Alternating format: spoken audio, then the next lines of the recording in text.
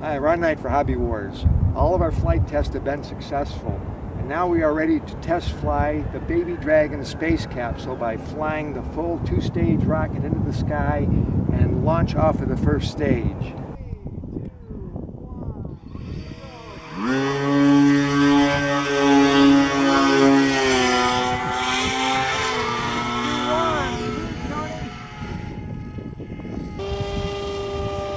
To give it down.